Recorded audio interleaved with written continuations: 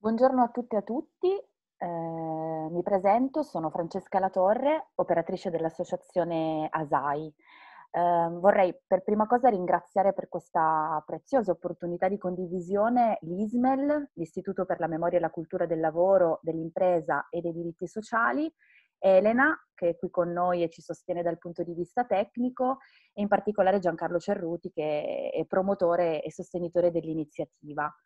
Mm, qui con me oggi ci sono due educatori che si occupano di progetti nelle scuole con l'associazione ASAI, una docente della scuola primaria Poli dell'Istituto Comprensivo Reggio Parco e una mamma di una bambina della scuola primaria e di un ragazzo della scuola superiore. Um, la riflessione che vorremmo fare insieme quest'oggi riguarda il ruolo di ciascuno di noi e le trasformazioni che questo ha vissuto durante questo lungo periodo di emergenza che abbiamo e stiamo ancora in realtà attraversando. Di fatto la scuola non ha riaperto, siamo alla fine di questo periodo di didattica a distanza, ci stiamo avvicinando all'estate e alle incertezze che ancora riguardano purtroppo il nostro prossimo futuro in termini di ripartenza delle attività scolastiche mh, essere o avere il ruolo è una differenza frommiana che porta in sé differenze nel vissuto e nell'agito di uno status che sono molto significative, soprattutto per alcuni ruoli, in particolare per quelli che implicano una relazione e dunque uno scambio, una reciprocità eh, come quello dell'educatore, dell'insegnante e del genitore. Mh, in questo periodo straordinario, nel senso proprio di fuori dall'ordinario, di radicale trasformazione delle relazioni e della configurazione dei ruoli, spesso intrecciati di ciascuno, il lavoro interprofessionale e di comunità ha svolto un compito fondamentale e si è inevitabilmente rinforzato. Um, questo momento ha, dal mio punto di vista, messo in evidenza con ancora maggiore forza e prepotenza il bisogno di tessere reti e connessioni laddove prima non esistevano ehm, senza questa rete che connette specificità e competenze e le valorizza, mantenere relazioni a distanza sarebbe molto più complesso. In alcuni contesti sarebbe, e sarebbe stato dal mio punto di vista quasi impossibile. Mm, nel sistema scolastico e nel fare comunità educante spesso si presenta una complessità si incontrano difficoltà nelle interazioni tra gruppi e singoli di differenti estrazioni sociali, con interessi differenti, confini territoriali, barriere linguistiche e anche differenti visioni di risoluzione dei problemi. I singoli mettono spesso in un primo momento davanti gli interessi personali a quelli per la comunità non che questi due siano in contraddizione dal mio punto di vista, ma la sfida del sistema è proprio quella della ricerca, della persecuzione dell'equilibrio tra questi due elementi, il loro congiungimento. E il coinvolgimento ha indubbiamente una funzione chiave in questo senso. Una forte motivazione al fare comunità è il senso di appartenenza, che spinge le persone a prendere parte a processi di costruzione collettiva anche se hanno appunto caratteristiche differenti. Sentirsi parte di qualcosa di comune sprigiona delle energie e dei sentimenti che sono il motore dell'azione di comunità. Quando e laddove l'interazione produce responsabilità per il bene comune, si genera quindi un processo collettivo che mette in rete risorse e ricerca soluzioni a problemi comuni. Il sistema scolastico, dal mio punto di vista, deve sostenere le risorse delle persone che si mettono in rete e avviare dei processi di corresponsabilità e di cura reciproca, non solo verso ciò che è affine o prossimo, ma rivolti all'altro come valore comune. Non esiste, secondo me, comunità se i soggetti singoli non si sentono parte di essa. Dopo queste premesse, anzi alla luce proprio di queste premesse, vorrei iniziare con una domanda a Essadia, eh, mediatrice interculturale, cuoca, donna e mamma, come vi dicevo, di, di, due bambini, di un ragazzo delle scuole superiori e di una bambina che frequenta la, la quinta elementare. Eh, Essadia, hai voglia di condividere con noi che cosa dal tuo punto di vista di super genitore eh, ha funzionato e che cosa ha funzionato meno in questo periodo di didattica di, di questo periodo di didattica a distanza? Eh, buongiorno a tutti, grazie Francesca. Io sono in realtà mamma di quattro bambini perché parliamo del grande e quella che fa l'elementare, però ci sono altri due comunque da gestire dentro casa. Eh, questa emergenza veramente ci ha messo a, a dura prova. Eh, io come mamma eh, all'inizio ho goduto perché il fatto di non svegliarsi al mattino, di non preparare, di non essere precisi con l'orario mi è piaciuto all'inizio, però dopo un certo momento, la prima settimana, la seconda, ho iniziato io stessa a sentire la noia, questo ritmo che è veramente molto eh, lento, molto rallentato, ma comunque in grosso modo l'ho accettato e non mi dispiaceva molto. E invece per la scuola, per i miei figli, come sappiamo tutti, fino a marzo non c'era ancora niente, fino alla prima settimana di marzo. Però da lì sono iniziati eh, le prime richieste, sia delle famiglie che della scuola stessa, come andrà a finire, cosa possiamo fare, cosa dobbiamo fare. Eh, per quello inizio con eh, il punto positivo che eh, mia figlia, quella che fa l'elementare, veramente ha delle maestre fantastiche che sono stati sempre vicini dal primo momento. Allora, eh, ancora non si parlava di come andrà, andremo a finire le lezioni, sono stati già vicini ai bambini, già con il WhatsApp, chiedevano ai bambini cosa fate, eh, state facendo esperimenti, eh, uscite, cosa state cercando amici, cosa avete creato voi bambini stessi?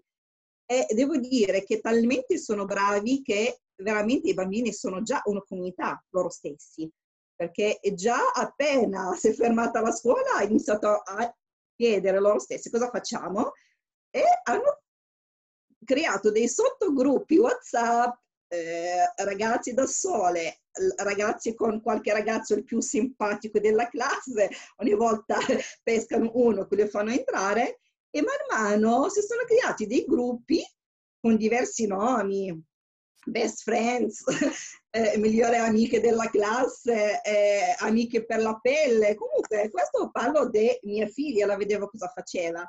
E la prima cosa che hanno iniziato a fare tutte le ragazzine della quinta elementare della Parini, dove c'è mia figlia, si sono date a cucinare, alla cucina.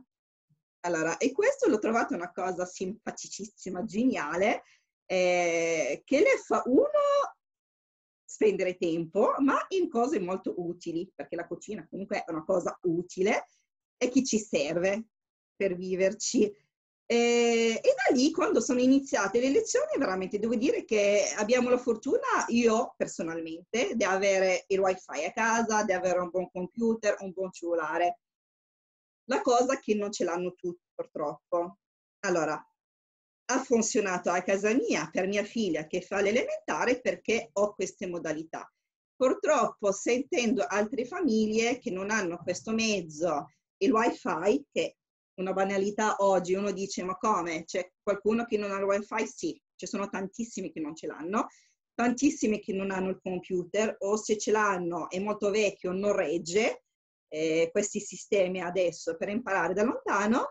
E, e, poi se uno è autonomo, io ho, avuto la, ho la fortuna che i miei figli sono autonomi, io sono un po' ancora, sono molto, molto indietro paragonandomi con loro, non, sono, non ho tanta eh, amicizia con questi mezzi, ma loro sono autonomi quando eh, lei, parlo sempre di mia figlia della quinta elementare, quando le maestre le danno dell'indicazione su WhatsApp, a ah, Marianne vogliamo fare questa cosa, lei è sempre pronta. Eh, anzi, facevano anche esperimenti con lei perché è talmente brava che iniziano con lei sempre. Eh, la lezione si faceva da lunedì fino a giovedì e il venerdì lo fanno proprio un incontro tra tutti, le maestre e i ragazzi, proprio tutti. Invece eh, le maestre hanno fatto sottogruppi per non intasare il sistema e comunque che la lezione viene compresa bene. Hanno fatto come se fossero in classe, ma con tanta tranquillità e tanta veramente voglia eh, di lavorare. Io, io li amavo, ma li ammiravo tantissimo, ma con questa veramente con questa emergenza li ho amati di più, li ho apprezzati, perché veramente io sentivo i discorsi che facevano con mia figlia, gli esperimenti. Eh, sembra un'adulta mia figlia quando la parlavano, sembra una della loro età e questo io veramente l'ho apprezzato moltissimo e sempre Francesco, conoscendo i miei figli, veramente mi dice, cioè, cioè, i figli sono bravissimi, però sentendo le maestre, il gruppo, ho capito da dove viene questa bravura, che non ce l'hanno tutti. Per fortuna io l'ho avuta con i miei figli, ma purtroppo altre famiglie eh, le danno i compiti su WhatsApp con un messaggio e il ragazzo deve rispondere mandando le foto. E questa cosa l'ho trovata veramente molto triste, e proprio si è staccato, non c'era più rapporto, e c'è tanto menefreghismo, perché vedete che queste maestre fanno il minimo indispensabile. Io ti do i compiti, le fai, non le fai, tu mi mandi la foto e finita lì.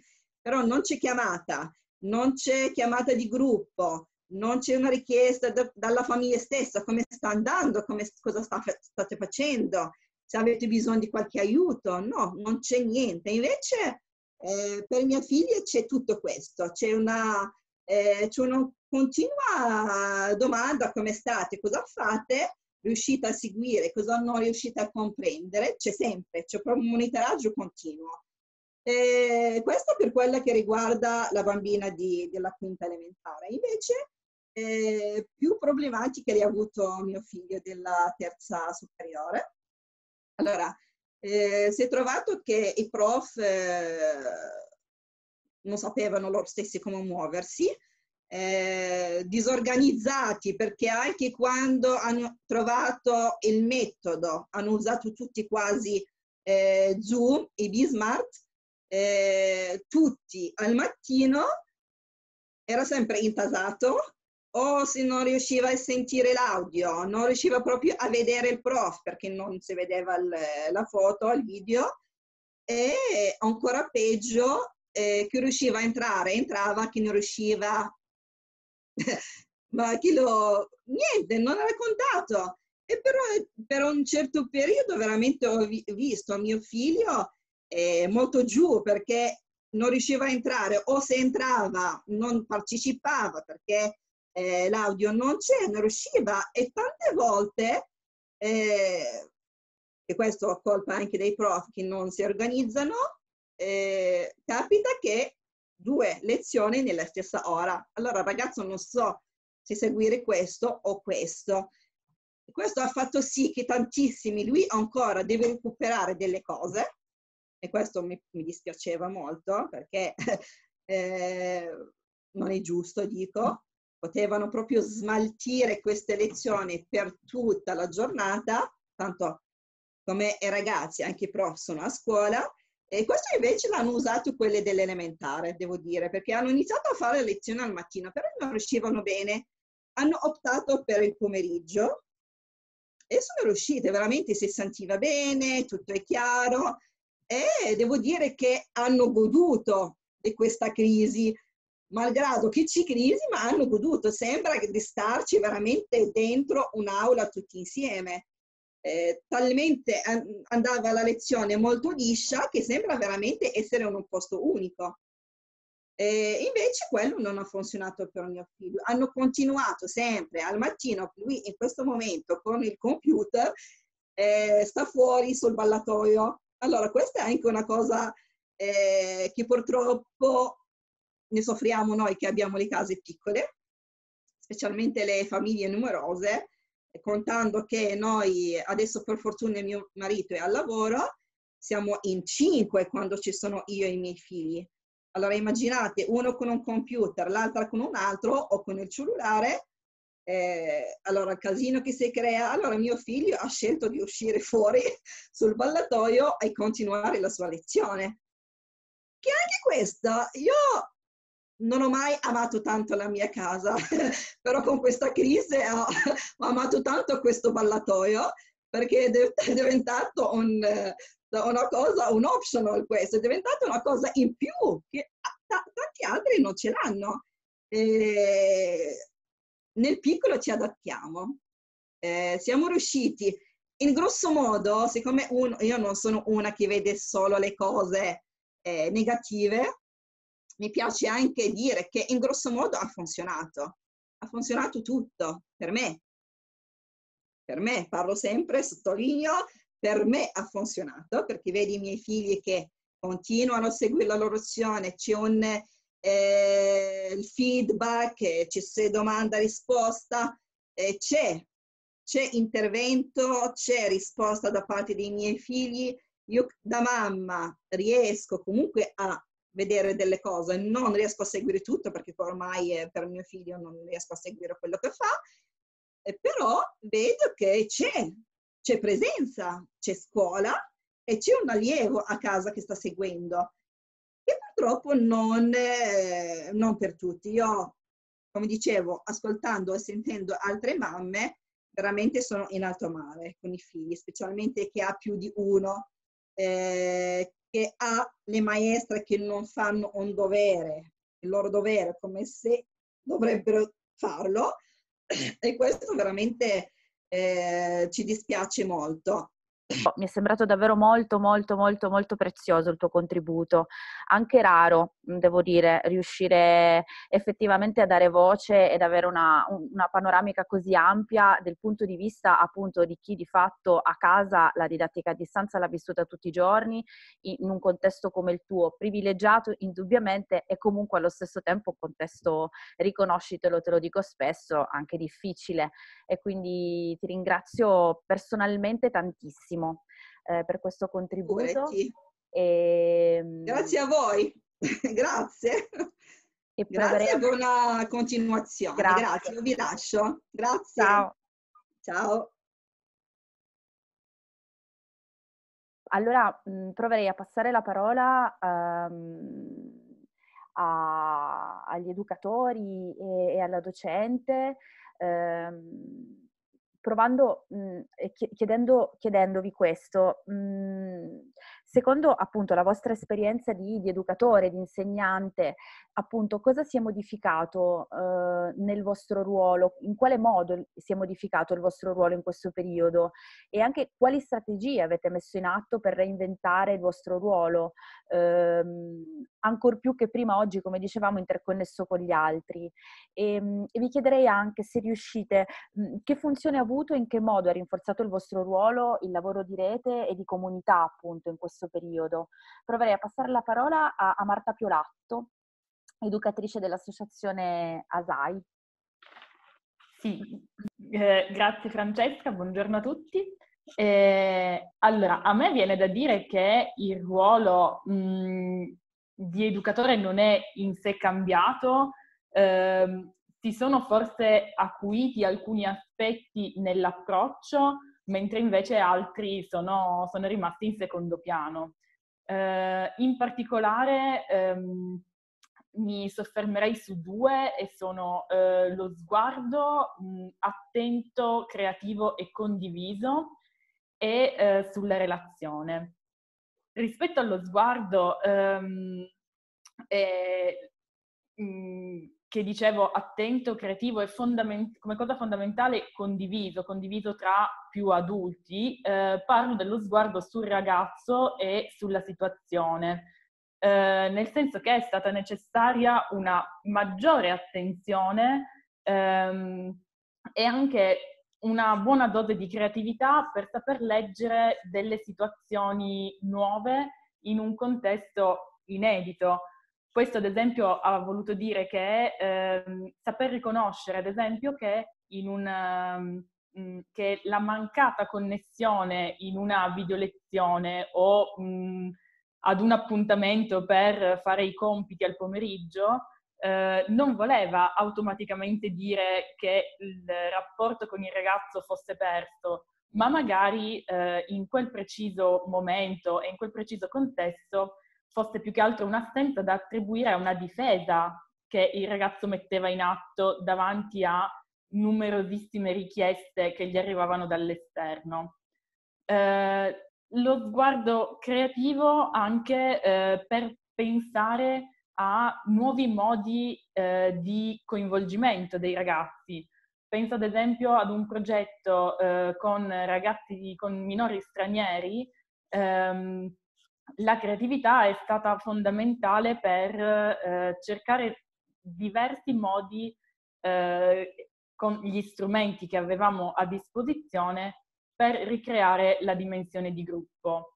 Eh, creatività anche nel, ehm, nelle modalità di coinvolgimento del singolo, nel senso che in questo periodo sono nate relazioni nuove e, e però senza il potersi vedere in presenza eh, è stato necessario pensare a nuove modalità e, ehm, per eh, far crescere questa relazione. E proprio rispetto alla relazione, un, eh, un aspetto particolare eh, di questi mesi è stato il, ehm, e in particolar modo facendo riferimento al centro aggregativo eh, di Asai di Porto Palazzo, eh, un aspetto è stato il soffermarci sulla dimensione individuale della relazione. Dopo un primo periodo in cui mh, i ragazzi erano iper reperibili eh, e in cui la dimensione di gruppo è, andata, mh, è avvenuta in modo abbastanza automatico, eh, abbiamo deciso di soffermarci proprio sull'aspetto, sulla dimensione individuale. Um, questo ha mh, permesso di venire a conoscenza di, di capacità che non conoscevamo dei ragazzi, ehm, ha permesso ai ragazzi di avere direttamente eh, e immediatamente dei rimandi positivi di sé da persona, provenienti da un adulto, da un'altra persona. E soprattutto eh, ci siamo accorti che la relazione è stato ehm, l'unico strumento in grado di scardinare ehm, la facilità con cui mh, mm, eh, si può essere assenti ad, una, eh, ad un'attività online, nel senso che mh, la responsabilità dell'assenza è molto più, cioè è decisamente inferiore, eh, perché è molto più facile non rispondere a una videochiamata o non partecipare a una, video, una videolezione piuttosto che non, mh, non essere in presenza. E la responsabilità nei confronti di una relazione, di una persona, è stato veramente l'unico, l'unico strumento in grado di contrastare questa, eh, questa, dinamica. Rispetto alla rete vale un po' quello che dicevo eh, rispetto allo sguardo condiviso sul ragazzo e sulla situazione. In alcuni casi la rete è stata del tutto fondamentale se non, se non determinante. Eh, si è trattato di innanzitutto di rete fra colleghi, perché ehm, più, in più step, in più momenti, eh, da soli, no, ciascuno di noi non sarebbe riuscito a eh, individuare una strada da intraprendere se non condividendo eh, le varie prospettive, i vari sguardi e opinioni. Eh, si è trattato poi anche di reti interprofessionali, alcune che si sono consolidate, altre invece che sono proprio nate mh, nei mesi di nei mesi di Covid um, e reti tra operatori, insegnanti, affidatari, volontari di ASAI, genitori. Um, quello che um, la motivazione che penso sia, sia, dietro alle nuove reti che si sono, si sono create, si sono instaurate, mh, è il fatto che una, un contesto esterno inedito eh, abbia scardinato delle, delle, prassi che forse si erano consolidate un po' per abitudine e quindi il, ciascuno in ciascun ruolo si è sentito eh, nella condizione di non farcela da solo, di non potercela fare da solo eh, e quindi si è resa necessaria la, il supporto e la collaborazione eh, con altri. A fronte di questo per poter dire che eh, abbiamo imparato qualcosa dal lavoro di questi mesi, eh, a noi sta la responsabilità di coltivarle queste reti.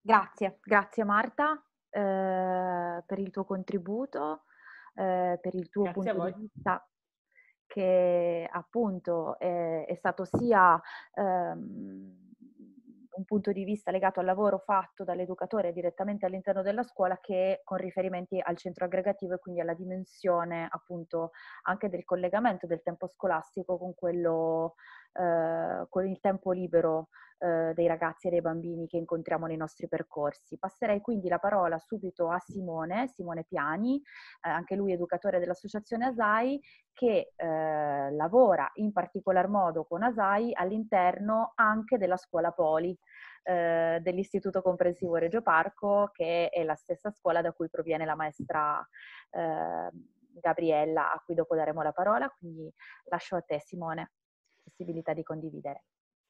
Ciao a tutte e a tutti, grazie Francesca per l'invito.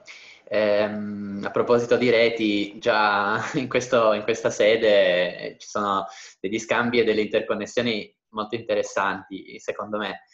Ma io mm, intanto condivido parola per parola quello che ha detto Marta, ehm, in quanto collega, ma insomma anche persona con cui condividiamo obiettivi e visioni anche.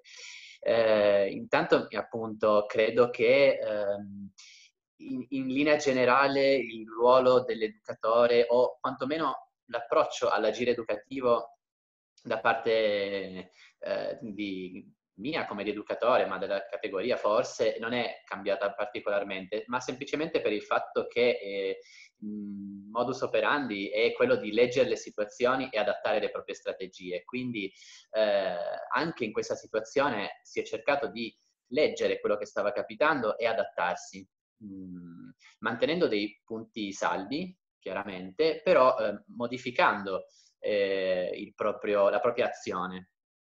E, e, forse in questo è un po', nell'operativo è un po' cambiato il nostro, il nostro ruolo.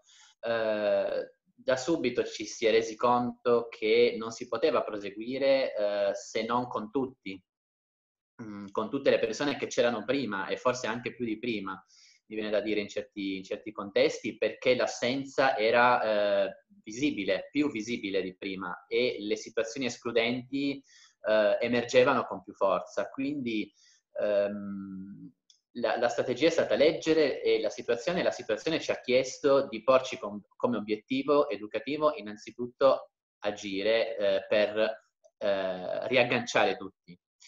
Lavorando a stretto contatto con eh, gli insegnanti e quindi eh, essendo io molt, molto immerso nella situazione classe, per, eh, per noi, per me e colleghi, ehm, la, la, dimensione di gruppo è stata mh, fondamentale e, eh, e, il gruppo è stato il primo obiettivo, ricreare in qualche modo eh, la dimensione del gruppo, mutata, fatta eh, virtualmente, quindi con relazioni mh, eh, più ancora più invisibili, eh, ma, eh, ma, andava ricreata.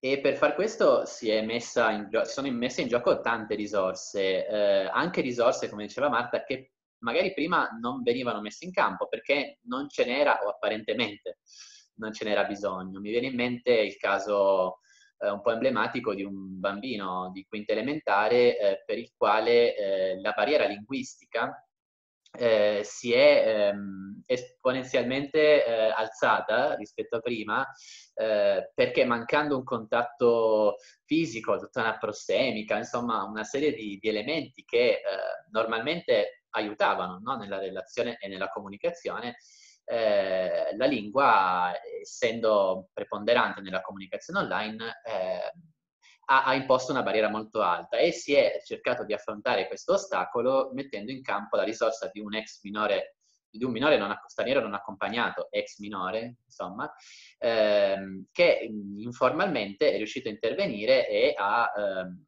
dare ver- veramente una grossa mano e anche oltre quella situazione in altri contesti. Eh, quindi sì, mh, condivido anche la parola creativo che è stato tirato fuori da, Mar- da Marta prima. Eh, strategie e azioni creative, immaginarsi che cosa si può fare a fronte di nuovi eh, bisogni.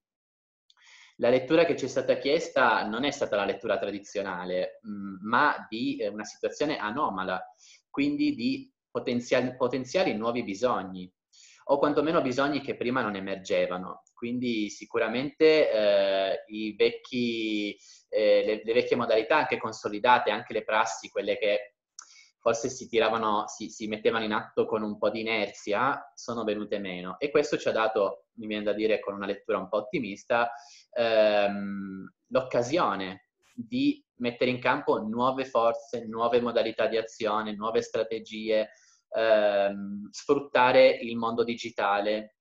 Noi educatori tradizionalmente siamo un po' resti al digitale perché la relazione innanzitutto si fa dal vivo, verissimo. Eh, però eh, questa situazione ci ha imposto un'altra modalità che non poteva essere letta come cattiva perché diversamente non l'avremmo potuta mettere in atto. Mi sento di dire che diversi strumenti si sono rivelati altamente creativi e altamente in qualche modo democratici o alla portata di tutti, eh, se attuati con il giusto supporto. Eh, alla fine di tutto il gruppo si è, nella maggior parte dei contesti, si è ricreato, ci è voluta pazienza, ci è voluto molto lavoro, eh, ma si è, si è ricreato.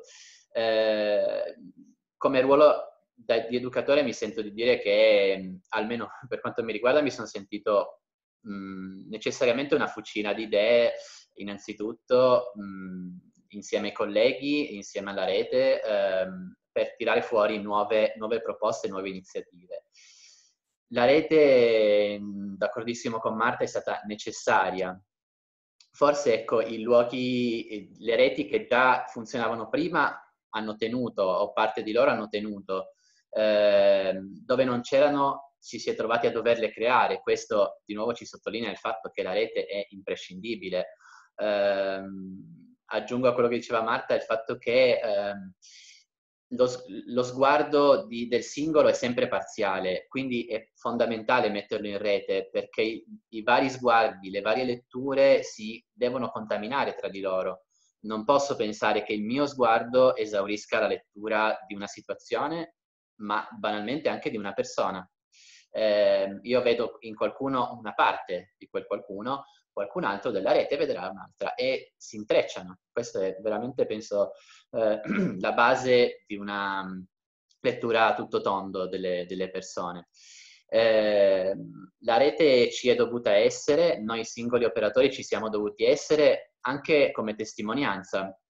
Direi la testimonianza che nonostante tutto ci si può, eh, ci si può eh, relazionare, si può stare in relazione, ci si può essere, eh, si può fare lo stesso. Ecco, eh, non ci fossimo stati, ci fossimo tirati indietro, ehm, probabilmente avremmo dato espon- un messaggio esponenzialmente fo- più forte della serie di ostacoli ci, ci allontanano, no? Eh, ci siamo dovuti essere, la rete ha dovuto sostenersi per esserci. Ecco. Grazie Simone. Grazie a te. Grazie Simone, grazie anche a te appunto per il tuo contributo eh, profondo, grazie per aver ripreso l'elemento sottolineato da Marta, eh, l'importanza della creatività e di trovare nuove strategie, di rinnovarsi e del, per aver ripreso il concetto di indispensabilità del lavoro di rete per farlo in modo efficace. Eh, quindi eh, ti ringrazio eh, per esserci, per esserci stato e passo subito la parola a mm, Gabriella Morello, che è una docente, come vi dicevo, della, della scuola primaria Poli dell'Istituto Comprensivo Reggio Parco, eh, che sono molto felice, confesso, di avere qui tra noi oggi. Ho avuto la fortuna immensa di lavorare con Gabriella eh, per un anno scolastico della, della, mia vita professionale e quindi sono davvero felice che, che tu ci sia Gabriella e ti lascio la parola. Grazie, buongiorno a tutti, buongiorno a Francesca, grazie a te per questo invito e contraccambio la fortuna di aver lavorato con te per, per un anno, che è stato molto significativo. Provo a cogliere la sfida di queste, queste domande che aprono degli scenari decisamente eh, ricchi di dettagli e di informazione. Eh, la prima suggestione è una riflessione sulla scuola eh, come definizione, come luogo. La scuola è una comunità è una comunità fatta da tante piccole comunità al suo interno. Si parla sempre della scuola al singolare, ma in realtà le scuole sono tante. All'interno di questa istituzione si ritrovano le classi che sono formate da bambini, da insegnanti che interagiscono con le altre classi e quindi già di per sé una, una piccola comunità. Poi la nostra scuola ha solo una sezione e, e quindi è chiaro che ha ancora più eh, comunità al, al, suo interno. Eh, è una comunità dove vengono agiti degli stili di insegnamento e di comunicazione adattati anche sulla base delle caratteristiche dei bambini, ma è soprattutto un luogo in cui queste relazioni si sviluppano. Durante la DAD questo luogo è sparito. Abbiamo dovuto eh, entrare nelle case dei nostri allievi e delle loro famiglie. Eh, abbiamo stravolto, come diceva la mamma prima, abitudini e luoghi eh, propri della, della, famiglia e dello stare insieme. Eh, disagio che ho vissuto anche in, come mamma, non solo come, come, insegnante. Quindi queste case sono diventate delle, degli uffici open space, sfruttando tutti, tutti eh, gli ambienti, eh, a volte anche i bagni, i corridoi e i balconi, cioè tutto, ogni, ogni cosa avesse una porta era, era buona, ecco, per essere trasformata in un angolo di studio. Ehm, la sfida però è stata questa, continuare malgrado tutto a mantenere una relazione con dei bimbi, nel nostro caso bimbi piccoli perché sono bimbi di prima, bimbi che hanno ancora poca dimestichezza con l'informatica, che hanno eh, poca dimestichezza anche con i cellulari e fino a qualche mese fa avremmo ringraziato Dio per questo e invece adesso il fatto che i bimbi sappiano usare WhatsApp è una competenza, non è più un limite, anzi è una risorsa per sviluppare quel senso di comunità di cui i bambini hanno bisogno tra pari e con le insegnanti. Um, quindi sicuramente la prima sfida è stata proprio questa, continuare a svolgere il, il proprio ruolo.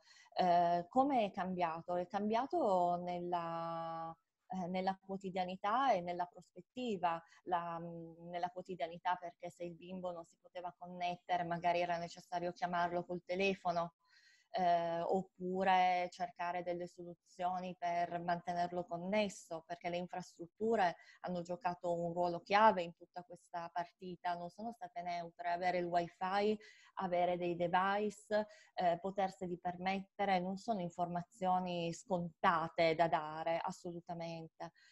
Quindi la, la reciprocità, la ricerca di una reciprocità con gli allievi e un'intenzionalità forte da parte degli insegnanti di continuare a mantenere viva questa relazione.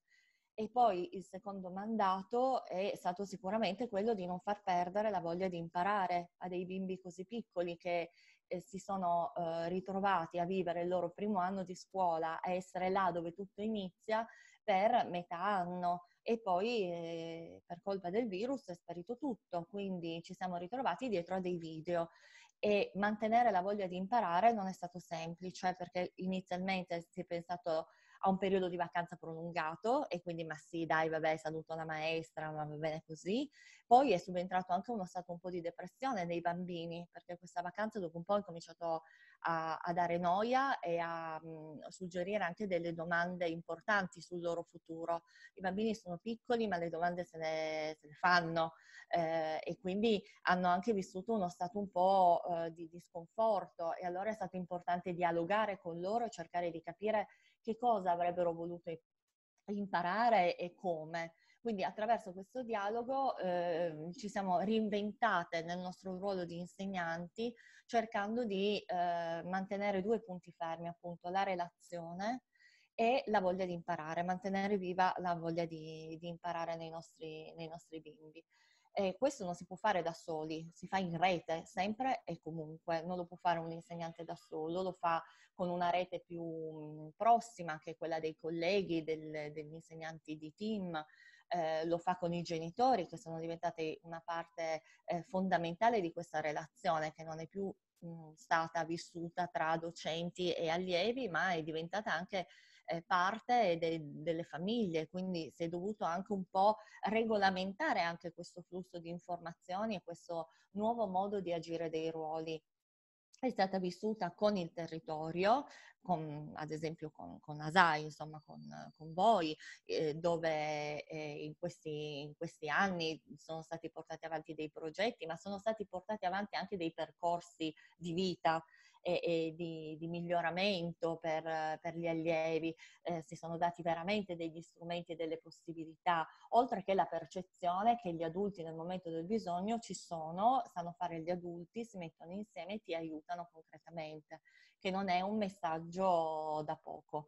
L'abbiamo fatto con gli strumenti che stiamo usando anche adesso, con le piattaforme, con eh, i cellulari, con le, le chat eh, con molti strumenti che la didattica offre anche a livello digitale, che richiedono però, ripeto, infrastrutture, sia nella creazione, sia anche nella fruizione, perché poi se dall'altra parte i bimbi non hanno un computer, un tablet, ma hanno dei, degli smartphone, la fruizione cambia e quindi questo doversi continuamente adattare alla situazione. Quindi come è cambiato il nostro ruolo, è cambiato eh, dovendosi costantemente adattare, adattare ai bisogni e alle risorse dei nostri allievi.